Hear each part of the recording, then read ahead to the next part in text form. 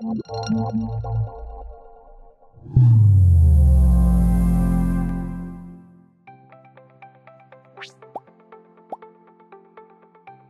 yeah, my name is Matt Ball. Um, uh, Jill already gave you a bit of a background that I'm the founding partner, one of the founding partners with Paul of the, the business. Channel Creator's been around for 13 years. Our first client um, was a Canadian client called Hostopia, uh, and they are still a client today. So we've got some, some really good experience of doing business with, uh, with companies from the Canadian market, uh, of which Hostopia is absolutely not the only one. Um, I'm going to invite Paul and Elias to introduce themselves later because they both got roles in the session, and so you'll hear a little bit about them. Uh, but I've been in the software market, in e-commerce and associated markets uh, since 2001, uh, where Paul was my boss's boss's boss back in the uh, the good old days.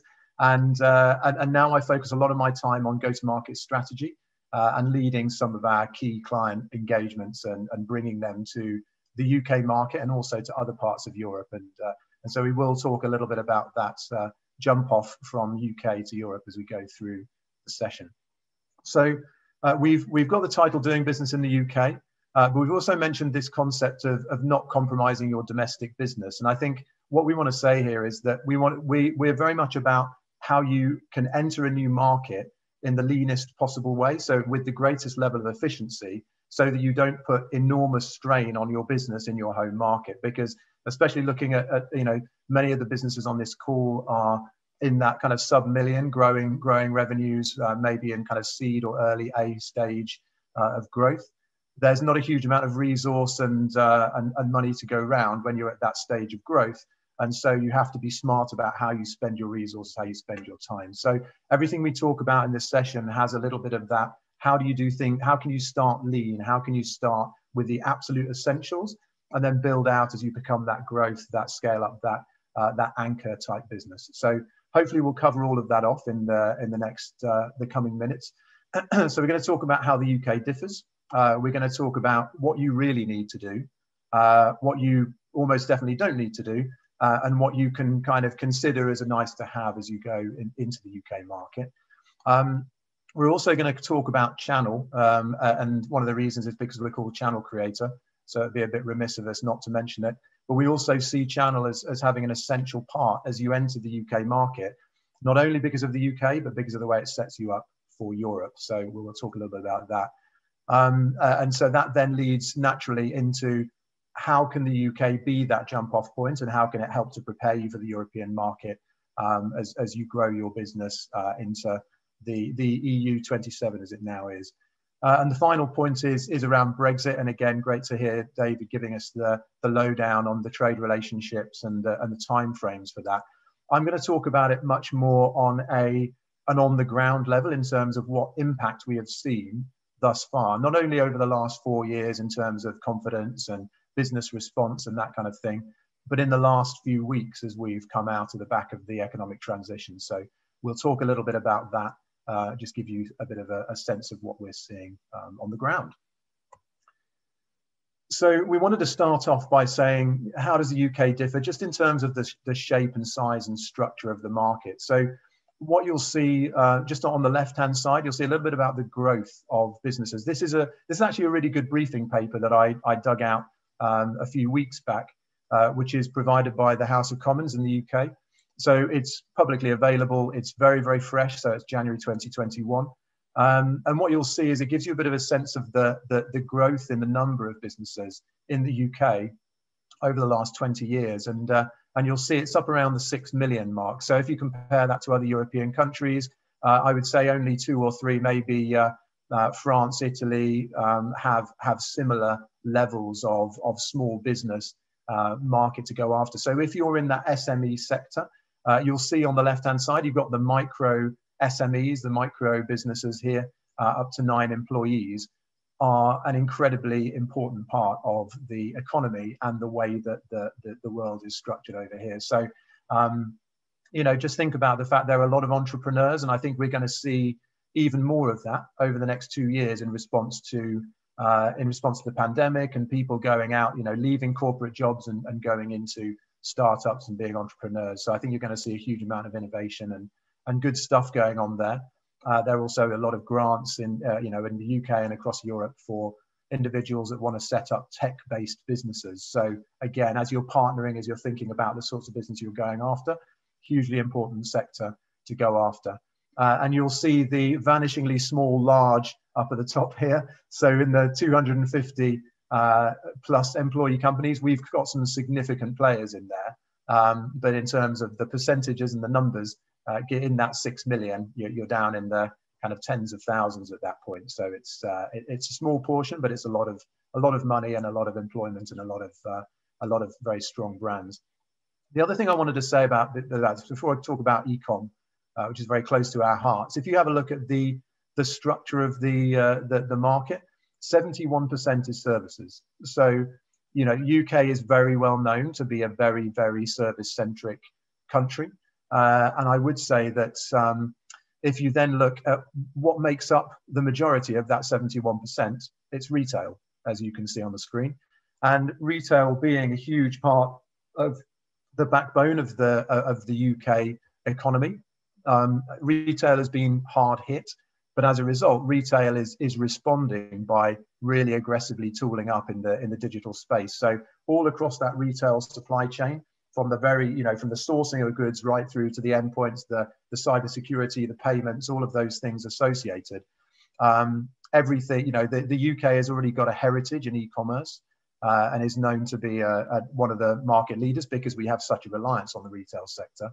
Um, but we've seen a massive, massive increase. So over the last year, we've seen that 20% market share, which was already a good level of penetration in terms of, uh, of market share uh, of, of, of retail sales that are being done online, that's jumped to 35% um, across the course of that last year. So I think we're going to see that as a lasting impact of the pandemic as we come out of the other end. And as you may know, we're starting to unlock. We've done about, I think, a third or more of our adult population has had a, had the first vaccination and such like. So as we make progress on that front, you're going to see a, a big bounce back of, of retail and all the furloughed staff unfurloughing and there's going to be a real hunger for technology in that market. Not you know not to mention the other markets, but it, it is one of the real important sectors in this uh, in this space. And again, as you can see at the bottom, highly mobile, highly kind of social, local in, in our focus as well. So there's a huge amount of usage of those mobile experiences and platforms. So anyway, I will let you read the paper because the House of Commons have done a great job of uh, uh, of talking through uh, exactly what's um, uh, what the market looks like. So in terms of uh, in terms of how the UK differs, we thought we'd start off with a, a number of flippant comments about uh, uh, ludicrous examples of localization, um, just to, to, underline a point which is is more serious, I guess, which is um, a lot of companies in, in, North America, especially Canadian companies that are preparing themselves to, to go into new markets, go to the US, and then there is something of a US flavor to what then comes over to the UK. And I guess what we'd say is it, it really, it's noticeable when a business from Canada goes to the trouble uh, and, and, and from the US, uh, uh, you know, as well, when those companies have gone to the trouble of localizing the experience, localizing the platform, the marketing to, to be a little bit more in, in keeping and, and in the um, cultural vibe of, of, of how we do things in the UK. And one example that I like to give is that um, a lot of demo data that you will see in platforms when people are doing walkthroughs is demo data from other countries. And if you can spend that little bit of time just, just creating an experience and creating a user, a use case and a user experience of flow in your demos of, of, of UK people, of UK addresses, of pound sterling, of, of, of certain types of formatting, it, it does make a difference because it feels like you've you've landed in earnest. You know, you're really uh, it's not a it's not a kind of I'll give it a punt and see what happens. It looks more like you're taking the the market entry seriously. So I'd say the localization matters. I'd also say um, that kind of flows into the cultural differences. So I, I, we, we usually see that the way that the Canadian market and the UK market works together uh, there, there's a huge amount of um, similarity in the mindset and the approach to business and such like. Um, but there, I, I, would say that UK business decision makers make themselves difficult to reach, make themselves difficult to talk to, are immensely cynical when you, you get them on the phone, and will typically call things out and, and can often be quite curt. And I'm making some ridiculous generalizations for effect here, but uh, you know, I think Canada is seen as as having a similar mindset, having a similar similar business culture, more so than the US. And you can lean on that a lot in the way that you you sell uh, and actually, you know, introducing the fact you're you're from Canada at the very beginning of the the conversation is always going to be a, a, a tick in a box, I would say. Um, you will see competition in the UK that you won't see in North America, and you will probably see more of it than you're expecting. Uh, and that's because there's a huge amount of governmental and EU investment going into technology, uh, technology transformation. So in the UK, there's a heavy focus on fintech, uh, as well as creative industries and other things. But in fintech, there are a lot of accelerators run by Barclays Rise and Barclays Eagle Labs, that kind of thing, where you'll just see a load of competitors, weird and wonderfuls, of all sorts of sizes. You'll see all of the German competitors, the French, the Italian, the Spanish startups, which are all trying to get into the UK market on their way over to North America, and the Israeli startups that maybe think they'll try them, they'll try US and UK at the same time. So you will see a lot of uh, a lot of competition that that you might not be expecting to see. So be prepared for that and, and make sure you take good account of it when you're when you're considering your market entry. And then based on the cultural, let's say cultural differences, albeit they're not huge, um, we think that decisions tend to be slower in the UK than they are in North America. I think in the US, there's very much a top down um, speak to the CEO, and then the CEO will affect change in their business you would typically find the UK CEO taking a more hands-off approach. It's not always the case, but it's much more difficult to go absolutely top down from the board because most of the time CEOs will defer to their experts that they've they've put into their business. So you tend to end up going in at a kind of VP director level and then fanning out into the business to get board approval and also to get um, uh, subject matter experts in specific roles around IT or regulatory or whatever it might be. So just consider that because what you might think is a three month sales cycle might end up being a four, five, six month sales cycle, depending on the type of product you're, you're, you're selling. Um, so you should factor that into the way that you budget to, to enter the UK market. So moving on, um, what we want to talk about here is what you can, what you, what you will definitely need, and what you can definitely avoid spending money on for the time being uh, as you make your UK market entry, and then what are the things in that middle ground as well. So what we what we start by saying is a local resource is pretty essential, and I think um, uh, you know David and Jill uh, made the comment that it's the time zone as much as anything is the killer, and having almost no time to do your calls unless unless you're going to change your lifestyle for the worst, and, and we wouldn't suggest you do that. Uh, there, there are really two things to consider, which is um, first of all, the time zone becomes incredibly difficult over time unless you've built your entire business around that. And if you've got your business is running red hot in your local market, it will really start to fray at the edges when you're trying to manage this eight hour time difference or, or uh, you know, that, that, that level of time difference is pretty punishing. Um, so the, the other reason for having a local resource is that ability to respond very, very rapidly to customer requests when they need things turned around. I've got a board meeting this afternoon. I need something from you. I need the following things. And, and it's relevant whether or not you travel to the customer. So when we started working with Hostopia, the ability to jump on a tube and be at BT headquarters in 25 minutes was absolutely essential to them because we'd go in to sit in GTM meetings with the management team of BT plus a whole load of their marketing experts and a bunch of the other partners and sit alongside them alongside Microsoft alongside um, uh, you know, uh, the Blackberries and others of, of the world. So it's important to have people in country for, for those reasons. And then you've got that cultural secret sauce on top. And I think the cultural piece really starts to resonate when you get outside of London. So I've been to Newcastle lots of times. I've been to Edinburgh lots of times. I've been to I've been over to Northern Ireland. I, I know how things tick, what the cultural differences are between the different parts of the UK, and also that's an important point that you know, uh, don't don't try try not to be too London centric because there's so much competition there. There's a there's a real benefit to spreading yourself across that UK market with a with a local resource that knows what they're what they're doing.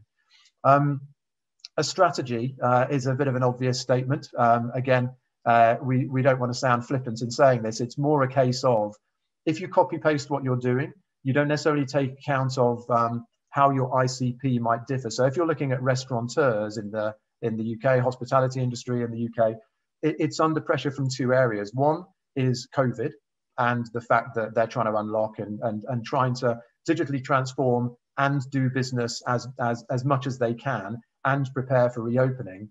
And that whole thing is very tough. And then they've got Brexit. And as part of Brexit, less, less access to, um, uh, to, to, European workers who are, who are happy to come across to the UK, maybe work for two days in a hospitality job, uh, take some money back, and then go and do whatever they're going to do next.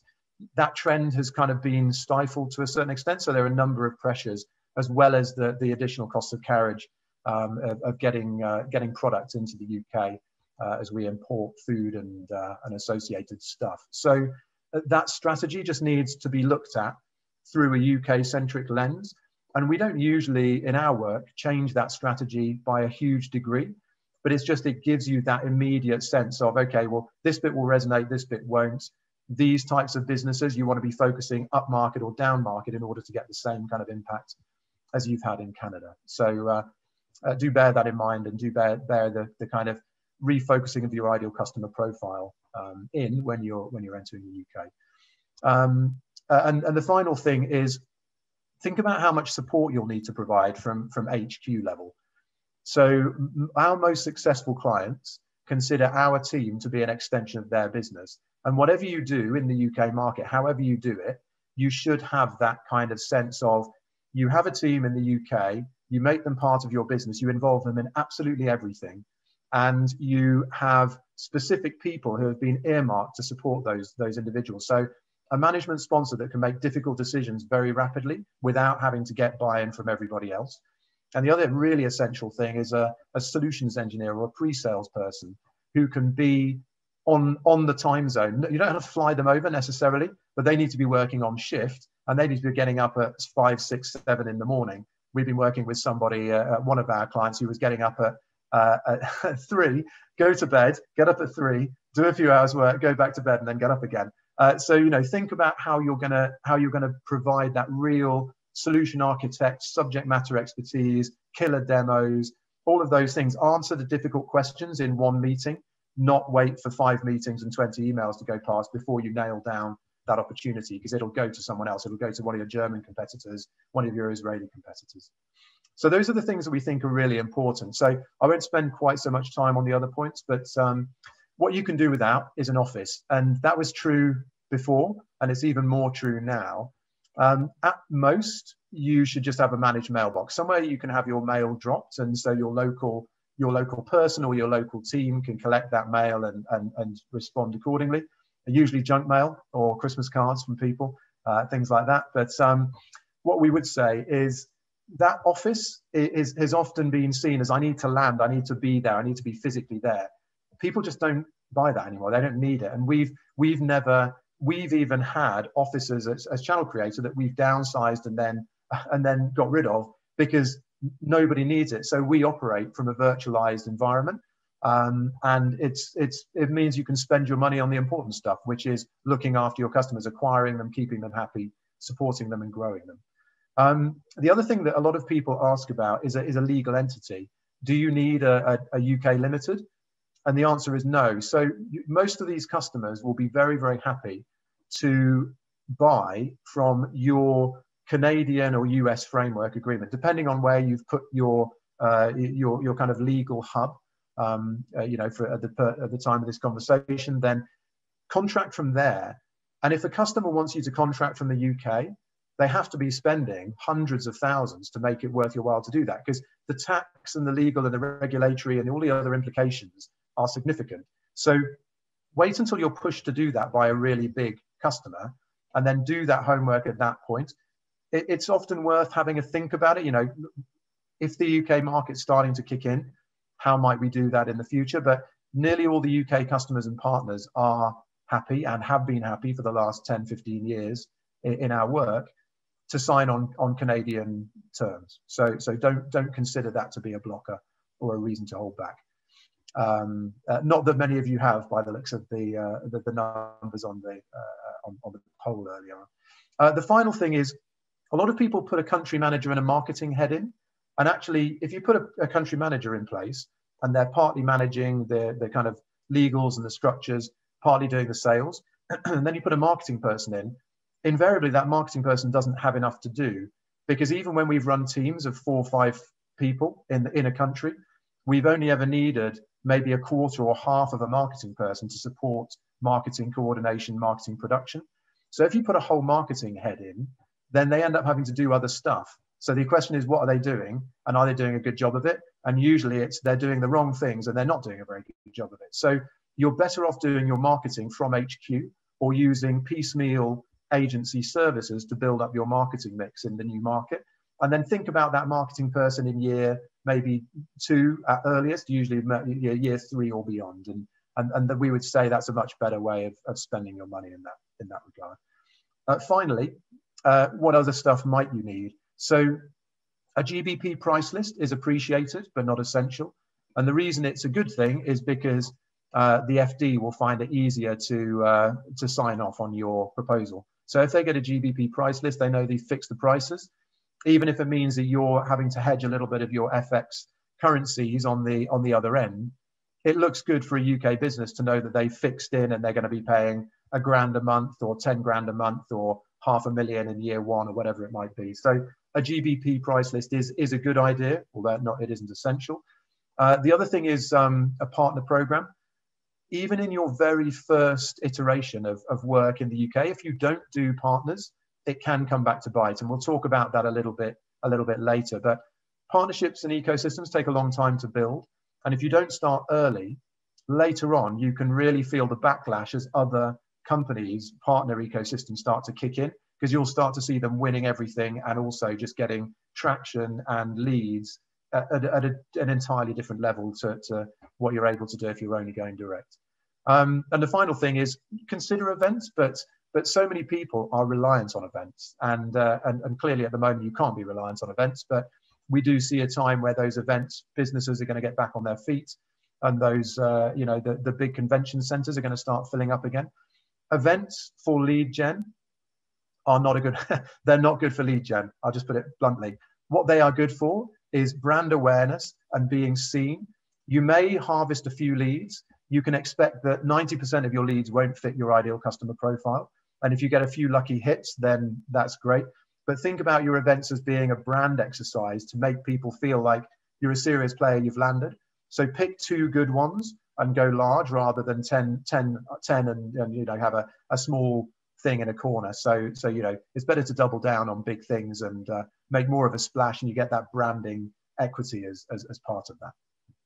So, we then wanted to talk a little bit about about channels. So, um, what we see a lot of is is it North American firms have a real heritage of direct sales, and also North American selling does have that kind of C level. You go in at the board and you you get sponsored down. Um, and, and, we know that's an oversimplification, but you know, in, in terms of how we then see how the UK market differs and how you would work onwardly into Europe, um, that that doesn't it, it doesn't work as well. Number one, so you don't get as much traction in your direct selling when you're when you're here, and also the the concept that you have more control is, is actually not true because what happens when you get to the final two, and we had this with one of our clients um, uh, from Cyprus. So European HR technology business, and they were focusing on direct bids in their first year. And they got to the last two in 20 bids, and they lost every single bid. Why did they lose every single bid? Because there was an advocate or an incumbent partner in every one of those companies advising for either the safe option or the option that they were sponsoring and had a relationship with. So what we would say is it, it's it does take a long time. It's messy. It's complicated. Uh, you can really boil it down. We've actually got a blog that we've put together about what's the absolute baseline, leanest way of building a partner program and, and the structures for that partner program.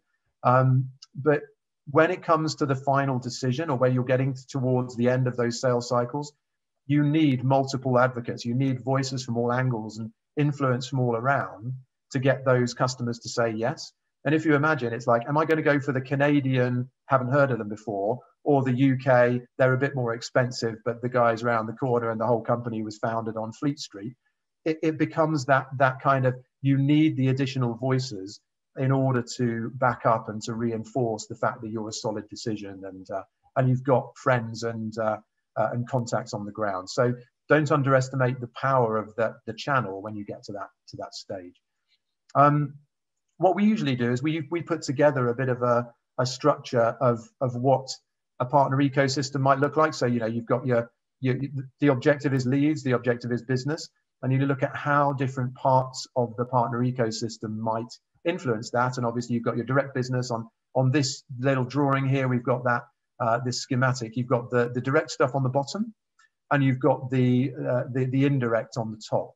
So where you, the way you should think about channel is often channel is thought about as resellers. And we would say in the UK, and as you, as you span out into Europe, it's not about resellers. It's about advocates who are informing the strategy of your customers, especially when you get into the enterprise tier. You don't really get enterprise resale. What you get is companies like Accenture and Capgemini and Baringa and let's say the large and mid tier uh, transformation and advisory houses, the big consulting firms, who are telling the customer where to go and why. And also, they're telling them what not to buy. So you need to be in there. You need to have socialized your proposition across those, those, those borders. So, you know, you, we've got ticks here in some, some random boxes to give you a bit of a sense of, of what you might consider. But, you know, strategy and digital consultancies really inform what the customer decides so companies that, that are delivering the technology, the system integrators, the, the, the full service agencies, again, they have a huge amount of influence on we build it on this platform because it's the best and because it facilitates these things and integrates to these other things. And when you get to integrating to those other things, you know, are you are you in that ecosystem? Are you integrated with Xero? Are you integrated with Sage? Are you connected to Salesforce, to the cloud, to all of these different platforms, Microsoft Business Central? those, those are the things that start to make those decisions. And if you haven't got those ready-made connections or those those pathways open, you can lose a lot of business as a result. So that's really what we talk about when we're talking about channel is you, you want something very rounded ecosystem. You start building out in the essential areas where it's going to facilitate your business the most, and then you build it into a really robust uh, and, and kind of 360 type of uh, type of channel. Um, and, and of course, if you don't, someone else will. And that someone else might not be winning everything in year one but we can definitely guarantee that if you don't do it then by year three they will be winning everything. And we've seen it in, in a number of occasions. And um, what i wanted to do at, at this point is uh, hand over to elias mabayad uh, uh, paul and my business partner of, of many years uh, one of the senior partners here and, and owners of channel creator. Um, and he'll introduce himself a bit of background and then just talk about our experiences of the impact of channel um, for one of our longest standing customers, Certona. Thanks, Matt. Um, and hi, everyone. Good afternoon. Um, I'll, I'll be fairly brief. It's just, it's one data point, one anecdote, but I think it, it sort of illustrates some of the points uh, that Matt has made. Uh, in terms of my background, um, I am Canadian, although I've lived in the UK now for 24 years. Um, I was sent over, in fact, by a Boston based at the time um, video conferencing company to help them with their European expansion and, and sort of build, build that cultural, I guess, connection between head office and the German, French, and UK um, uh, operation. And at that time, uh, so and I've been in sales and marketing for enterprise software and or early stage startups ever since. Uh, Certona was a San Diego-based uh, predictive analytics uh, company, so they they built a uh, they had a SaaS solution that they sold into, into retail and, and online commerce. Um, in fact, they had they were one of the leaders in the US and in North America. They had built themselves up to being one of the two main um, you know, finalists in every decision that most retailers made. They had over 100 employees and were well established. And I think the message there was they came to the UK two years too late. So their main competitor just up the road in San Francisco had entered the UK market two and a half years earlier. And by the time these guys came along, all of the big marquee clients had been hoovered up. Uh, and so entering the market was suddenly a lot harder. So there is a decision to be made when's the right time. Um, when you've hit over 100 individuals in your company, it's probably already a little bit too late. Um, and, and their mentality was we will service the UK and the European market um, and, and, deal with it on an ad hoc basis. Um, and in their particular case, what happened was they signed up a UK um, retailer who was maybe forward thinking and and you know willing to take a a chance with something considered to be bleeding edge technology and they signed up with them but that wasn't the, the, the rest of the market. So when when we started working with them we started on a direct sales strategy because that is what they insisted upon. Um, and we we did win a few uh, accounts and clients for them. But what then also became very very clear is in this particular case the um, uh, the, the, I guess the piece of the pie, which is the new and existing uh, as systems integrators, they were the ones, or they were the, the, the partners to these e-commerce retailers who were building out their whole e-commerce uh, presence online. And so when this particular platform came along, uh, they would also have to integrate it in. And because they all had relationships with the incumbent from San Francisco, there was absolutely no chance that they would endorse or in any way advocate for that platform. And you know, to the point of uh, that HR example uh, that that Matt gave from Cyprus, where you know they were the finalist or the one of the final two. It doesn't matter if you come second; they lost the deal, and so it was a very, very difficult period of time for them, uh, especially since they were typically on 12 to 18 month sales cycles. So that suddenly, uh, what that meant in effect was that although they, they managed to build a profitable European business, it was very small. They only ever expanded it to a, to a certain size and still really relied upon the North American uh, business for them. So I guess two, two takeaways. Number one, um, very much about timing. Don't leave it too late. Um, too early is also a challenge, but certainly don't leave it too late. And the second piece is the sort of the intangible um, benefit of over the longer term um, devoting some time to understanding what is the ecosystem, building relationships with the ecosystem, and in many cases, you know, those partnerships were not about mutual lead referral. They were they were much more about intelligence, you know, early warning system into, hey, I'm just speaking to my friend over there they're replatforming, but they're also looking for XYZ solution. You guys should get in there before they start to, um, you know, exclude you from that selection process. Um, so I think I'll leave it at that, Matt. Any questions? Maybe stick them on the chat, and uh, and Paul will pick them up later, and we can address them. Great stuff. Thanks so much, Elias.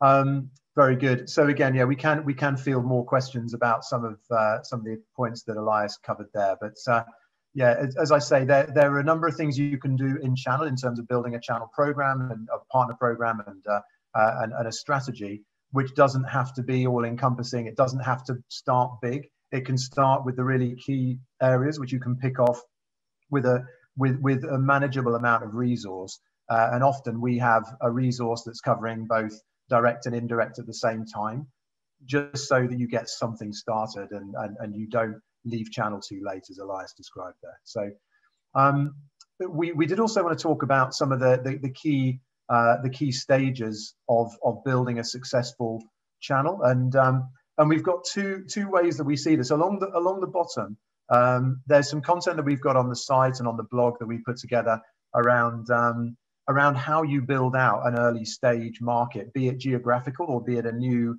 vertical segment or new channel segment. Um, and so what, what, what we've then done is we've said these stages are select your targets, validate your instincts, build a pipeline and win pilots, and then repeat and expand. On top of that, you can kind of use this methodology, which is for both direct and indirect selling, to inform a little bit about how you build your, your partner ecosystem. So what we typically do when we're building a partner ecosystem is we start small. And that means we identify a number of partners in the UK market. Uh, you might look at 20 SIs, 20 uh, advisory consultancies, change management, uh, digital transformation type businesses. Uh, we might take another 20 thought leaders, analysts, those sorts of businesses in that kind of publishing and advisory end of the, the market. And on the other end, you might have some technology partners that could integrate as a white label proposition or, or be a sell through or sell with. Uh, and, and if you can define your, your various segments of, of channel, you can very quickly then go and survey those businesses. So in this engage phase you've got on the left-hand side here, It's all about getting round. We, we do something called a validation. So once you've worked out what your plan is, we do a validate. It takes two months.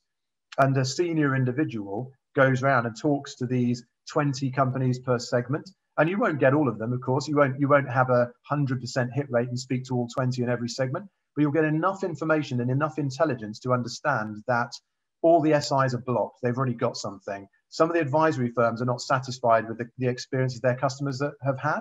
They're looking somewhere else. All the thought leaders are just looking for the next shiny object. So great, jump in. And then the tech partners, you know, maybe some of them have integration, some of them don't. Maybe some of them have API potential, and you can start to integrate a proposition and, and co-sell with them. So by the end of by the end of a month's planning and two months of, of surveying and, and validating, as we call it, you can get a really robust view of what the market looks like. And, and where does that get you to? Well, it, it, it's that validation is a pipeline because invariably of 80 potential conversations, you may have 10 or, or 15% of those that turn into meaningful sales engagements or meaningful partner conversations. So what we then try and do with the partners is a pilot and that's a pilot in one of two directions. Either we bring something from our network of, of, of direct leads to the partnership to catalyze that partnership. The other way is to find partners that say, Oh, Paul, it's funny you called me today because I was only speaking to a customer about this last week and we absolutely need a solution like this. So if you can fit into this framework, if you can fit into this world, you may well be able to do a deal with us. Let's talk about what that would look like. And you can get into these quite soft conversations around, okay, well, let's do a pilot project together. The pilot is not a pretend project, it's not a cut down one. It's just the project which proves whether that partnership is going to go the distance or not. So obviously, what you want to do with that with that pilot is absolutely smash it out of the park. And, and if you don't, that news will travel. So piloting is all about delivering the best possible customer experience and even more importantly, the best possible partner experience. So once you've got that pi- that that anchor tenant, that anchor project with your partner, you you can. This is something we did with Javelin Group. So we we found a project with the the Harry Potter um, ebook shop called Pottermore, and there was a project that was going south, and we managed to rescue that project, or rather, we we we took the project and the project assurance team, and we brought that opportunity to Javelin Group, which is the number one e-commerce uh, SI in the UK market. And it just happens to line up beautifully, more more so than we could possibly claim credit for ourselves, but we kind of put the pieces together and then the thing just shot off like a rocket. Um, and that, that project resulted in a really good experience for Javelin, a really good experience for the client. But more importantly, 50 developers were trained and five solution architects and two salespeople and the marketing team and, and, and. So by the end of that project, because of the size and the, the strategic importance of it, we'd already got to this stage called enable, which is everybody in that business needs to know what your proposition is and does and how they can sell it and why they should sell it because it'll make them a lot of money and also that first pilot just went off like an absolute dream and it was a, a, you know the absolute perfect poster child of of what a project should be so if you can get into that enablement phase and really socialize your product across every channel of that business you can very quickly get into the the, the dna of a partner and, and i say very quickly uh, that's an overstatement. With Javelin, it took two years. It took a year to get the project and, and win it and, and bring it home. It's 13 months is actually the exact amount of time. Uh, and then it took another year to deliver that project and build that enablement. And then we got into what we call the sell phase, which is every project which was a B2B2C, which had digital asset management involved in it, or had some complexities around back end integration, became a project for our client. And nobody else got a look in. So if, it, if a project came in with a certain set of criteria or characteristics, it just went to our client and it wouldn't go anywhere else. And that's where you're in that Intel Inside phase. We, we usually say, try and be the thing that they have to think about removing from every proposal, that they have to remove from every device. It's like it just goes out of the door with every single deal they do, unless they make a really uh, definitive decision not to do so. So, a few thoughts about how you can build a channel out there. Hopefully, that, that's helpful, but we have a whole load more content um, and, and, information on the site, and, and, we'll be building that library out uh, over the coming months. I guess um, in terms of, of how the UK can prepare you for Europe, I want to be quite brief on this because I think it's everything that we've already said. And, and so I just want to reiterate it, which is the European mindset, um, and, and probably David will have some interesting experiences from his colleagues in Belgium here, and you know and, and, and his, his work and his conversations with the team in the UK and Belgium is um, the mindset is similar, but more so, if I can put it that way. So you've got uh, the, the, the, the same level of kind of politics, and you don't tend to go in at the CEO, and there and, and it tends to be a little bit slower, and uh, and maybe they they favour European businesses. So UK is is a really good testing ground for that sales approach that is then going to continue to work across the European market. Um, there, there are obviously other complexities um, around not only the, the competition, but also localization. So local competitors from Germany, from UK, etc., will have really, really solid localizations into many, many uh, languages, currencies, um, appropriate taxation rules, whatever those, those localizations or local integrations are. Just think about how rich those are going to be and that will inform a little bit about what you need to think of before you go into each of those European markets. And uh, again, local team on the ground can say, you only need to integrate to this and this, and you've covered 70% of the market. So, you know, go for the low hanging fruit, go for the easy wins in terms of what's going to give you uh, the biggest coverage with the, the, the least effort. Um, and again, what is great about Channel in, in the UK is you can stamp it out across Europe. And, and that means either you use the same model at, a, at the very minimum, but if you think about what we did with Javelin Group and the, the story I shared a moment ago, Javelin Group went on to win projects in the UK, like Majestic Wine, which is a, a kind of well known wine warehouse in the UK. But then they started winning projects in Belgium with jumbo supermarkets and uh, projects in Germany and products in, projects in the Nordics. So those companies, those channels, if they are the right shape and size, can they can be the facilitators for your European business. And you can ride into Europe on their coattails. So choosing those right partners in the beginning really gives you a great opportunity then to, to build out your business on the back of those, those relationships.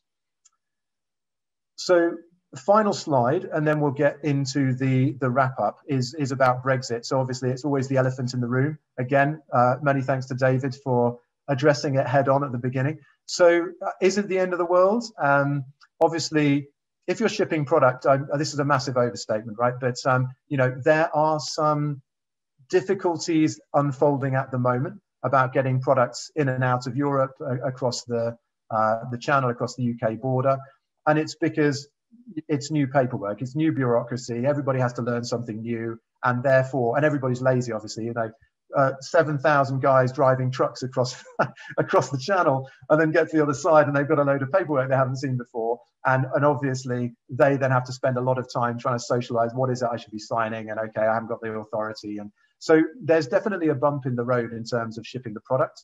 Longer term, there will probably be some tariffs which will impact certain areas of trade and certain types of products more than others. But just think back to what we said at the beginning of the session, which is that if you are a services business and 70% of the UK's businesses in services, there's a huge amount of market to go after that isn't being impacted by Brexit. Or if it is being impacted, it's being impacted either not very much or in certain cases very positively. So there are as many positive cases for what's happening to businesses and how they're growing as there are negatives. So I'm a, I'm a Remoaner uh, uh, so for my sins. So I was I was on the I'd like to stay in Europe, please. And I think you know, kind of philosophically and culturally, I feel I feel European. I consider myself to be European, and obviously there's a there's a huge variance in the UK across people who like how the how Europe rolls and people who like can't wait to see the back of it, as as the numbers in the uh, in the referendum would suggest. So,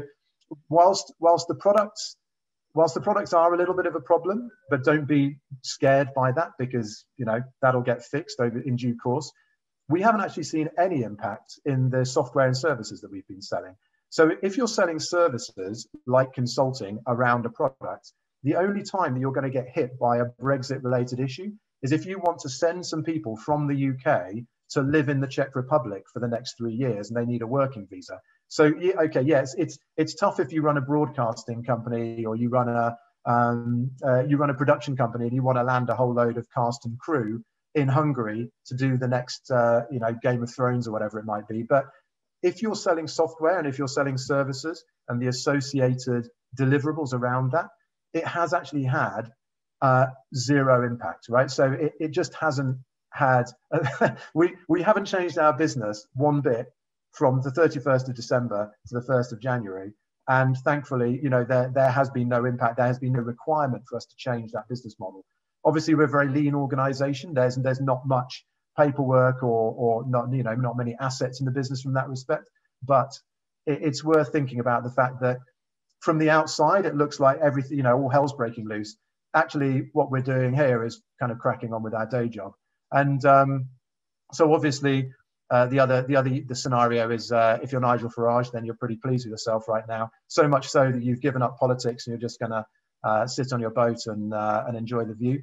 Um, and, and, then the final the final thing that that we have seen from one of our very long-standing clients, a guy called Jorge Carvalho, is now the VP of Web Services in this business, and he he shared with us the fact that um, from his view, Brexit makes things more complicated not necessarily because from a regulatory point of view, it, it, it adds complexity because, as I mentioned before, you shouldn't see a, a, huge amount of that when you're selling software and tech into the into the market. Um, what what changes is the fact that you need to have people that understand how it's playing out, so they can st- stop it being an issue. So if people don't know how to uh, to deal with the objection of how does Brexit impact it, it becomes a blocker. Uh, but if you have the right people in the room, then you can make that that that objection go away within about two sentences. So again, it's it's important to have the right people and the right knowledge on the ground in the market, just so that you can socialize the the realities of of what it means for a software or technology company, which is um, pretty much business as usual. So the final slide that we'll share is is just this um, uh, a little bit of a, a kind of um, food for thought on the types of models that people use when they're going into the uh, the, the, UK. Obviously, this is uh, total propaganda on the part of Channel Creator, but what I would say is that we are part of a, a growing trend towards sales outsourcing businesses and businesses that offer these sorts of, of services as on a kind of pay as you go um, contract model. So obviously you can hire a local team. My question is always this, if you're going to hire a local team, and you're going into the UK market, and you start off thinking that you're going to land in the UK fintech scene, and then you land in the UK fintech scene, and you find out that actually fintechs aren't buying it, but supply chain companies are. But you've got a person, a GM, who's a specialist in fintech. So you then have to get your GM to retrain in supply chain. And maybe that's not the best way of resourcing that role. So actually going in with a scouting facility, if you like, understanding what's what's going to land in the market, building out your customer base and then resourcing up on the back of that. In the end, the objective should always be to have a local team. How you get there is the question. And then there are a couple of options, which is you've got sales outsourcing. Again, as I mentioned, we're, we're one of a, a large number of European outsourcers that have good track record and you know a number of years under our belt of doing successful projects. You've also got distributors. And the only thing that we would always say about distributors is that you, you lack a little bit of control because you haven't got that um, you, uh, you, haven't got the, the carrot and stick, if you will, to control that distributor with.